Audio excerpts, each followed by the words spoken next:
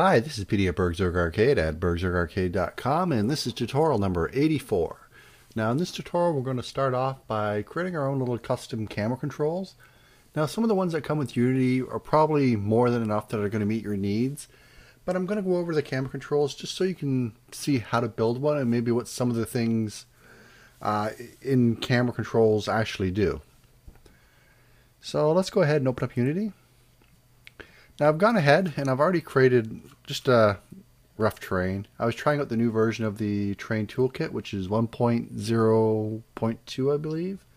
Uh, if you do a Google search, you'll be able to find it. It fixed a few uh, display errors for the textures. Uh, that's pretty much about it. But you know, if you use the terrain toolkit, I'd recommend going to get it. So anyway, I've made a character, which is just a capsule. It really doesn't matter what you're using. Uh, you could use a cube. You just need something to focus on. And we have our main camera. And I'm just going to use the main camera for now. There's nothing attached to it as far as the script goes. You just have all the basic stuff that comes with a camera. And I'm going to go ahead and create a script. So create C Sharp script. And I'm just going to call it, oh,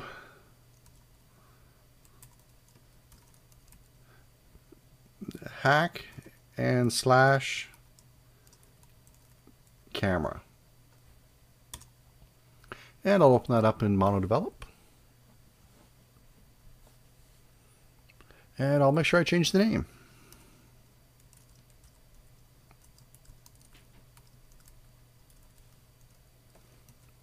That is the name, correct? Right. All right, now I wanted to answer a quick question. Uh, why do I keep doing things in a new project.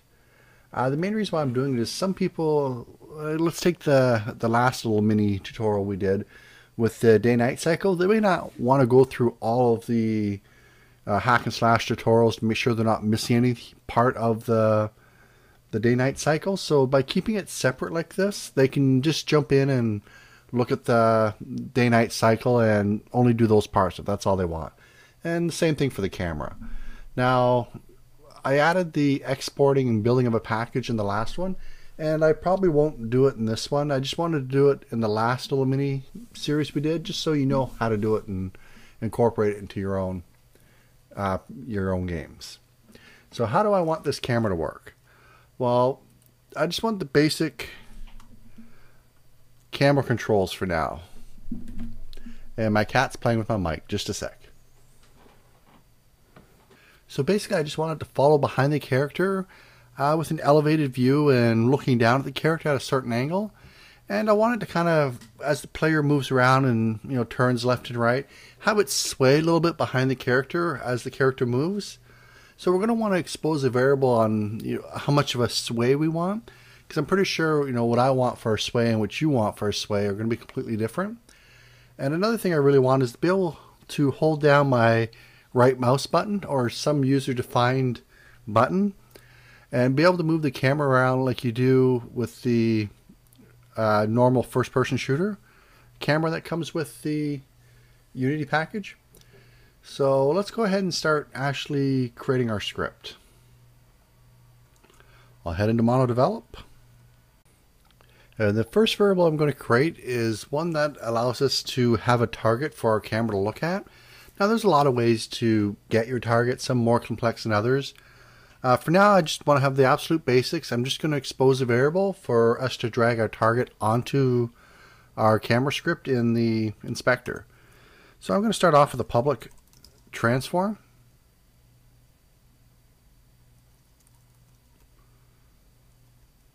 And I'm just going to call this target.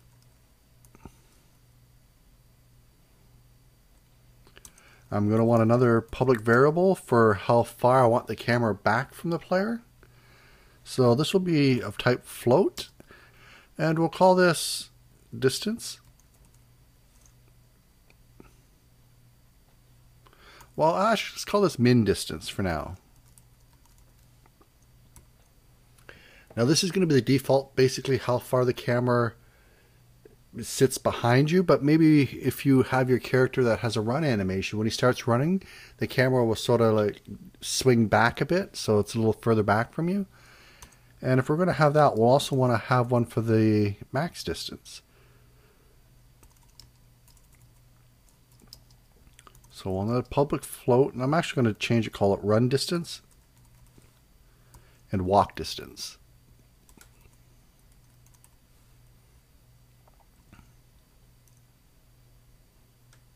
I'm also going to want a public variable, which would be type float for how high the camera is going to be above the player. So we'll just say height. So we're going to save these off, go back into Unity, and I'm going to drag this onto my camera. So here we go, it's attached to my camera, I want a target, so I'm just going to drag that on. I'm going to start off with my walk distance of, oh, maybe two. Run distance, I'll double it to four. And I'll just set a height of one. I'll just quickly save that in case it crashes. And then I'm going to come in here. And I'm going to put a debug log statement in here just to check to see if we actually have a target. So I'm going to say if target equals null. I want to send out a debug log warning. And for some reason my IntelliSense isn't working. I'll fix that in a sec. And I'll just say we do not have a target. Alright, and since I'm going to be moving the camera around quite a bit, we're going to want to cache our own transform, but we don't need to make this public. So we're going to make it private, and it's going to be of type transform, and I'm just going to call it my transform. And down on the start method here, right after we've done the debug, I'm just going to say underscore my transform is equal to transform. So this way here we're caching our transform, which is, if we select the camera, this component right here. And we don't have to keep looking it up every time we want to move. So now I want to be able to position my camera at least in the, the starting position. So what I'm going to do is come down here and create a new method. And this one's called void late update.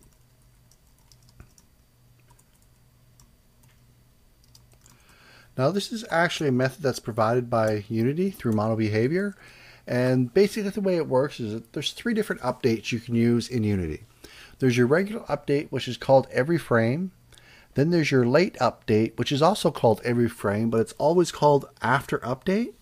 And then there's your fixed update where you want to use for physics. It happens a certain amount of every frames. Now we're going to be moving our camera around in the late update method because our character is going to be moving around in the update and if we had our camera's control or our camera moving around in the update as well, it's possible for that frame or even for several consecutive frames to have our camera trying to move around before it even knows where our character is moving and it can cause a bit of hitching and jumping around. So to avoid that, we'll put it in the late update our character moves in the update, so we'll always know that the camera is going to adjust its position after the character's already adjusted its position for this frame. Now, every script that has an update, you can't control, you know, which script update is called first. So by using the late update, it's just a, a easy way to ensure that anything you want to happen before your camera moves is done. So let's just move our camera to the default position. So we're going to say my transform dot position is equal to, and we'll make a new vector, 3. And we're just going to get our target's position x.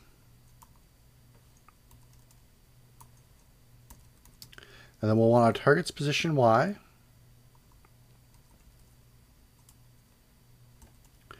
Now to the y value, we're going to add our height variable. So we'll just add height because we want the camera above them. And then we're also going to take our target position z and we want the camera behind where the player is. So we're going to subtract And for now, we're just going to use the walk distance. Let's get that working first. So the walk distance. We'll save that off. There should be no errors, which we don't have. And we'll just start it up and see what happens with the camera. Alright, so we can see here that our camera is where it's supposed to be, but we're going to have to adjust a few of the values. We're going to want the camera back a bit more, so I'm going to double my walk distance. That seems like a good spot. And I'm probably going to want to raise the camera as well. Two seems good. So I'm going to change my walk distance. You want to make sure you stop Unity so you can make these edits or they won't save. So my walk distance is now going to be 4. I'm going to try a run distance of, well, we'll double it. We'll try 8. If that's too much, we can always adjust later when we get to the run distance. And the height we liked 2. Well, at least I did. Alright, so let's save that off. And we'll go back into our script and we'll try to get the camera to tilt to look at the player next. So the easiest way to get the camera to look at the player is actually to call my transform, which is of course the locally cached transform of our camera, and just call the look at property. Now it's going to want a vector 3 of where to look. There's a few different ways. You can also just put in the target as well in a transform. And you can scroll through all those if you want, but I'm just going to say target. Now maybe using target dot position might be a little bit more efficient. I'm not really sure. But for now I'm just going to use target. So let's go ahead and we'll start this up and it should automatically angle the camera at our player. There we go. So if we go take a look, we'll notice that the rotation on the x-axis has been adjusted. Now, some of the really cool, neat things you could do is you could actually put some sort of empty game object above your player. So uh, let's make another empty here. And I'm going to call this uh, camera target. And I'm going to position this on the player. So I'll child it to the player and then I'll reset its position.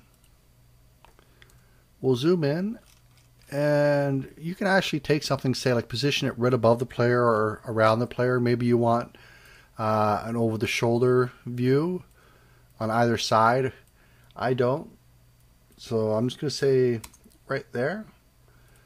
So it's just above the player. Now if we looked at the camera again, and it's asking for a transform for our target. If you actually use that uh, empty game object we just made and hit play, it'll actually be targeting something just above the player. So it's kind of a little FYI. Maybe you don't want it looking directly at your model because maybe uh, the way you have your model set up, it's looking at your model's feet or whatnot. But, you know, take it with a grain of salt. You can use either or. For now, I'm not going to be doing that.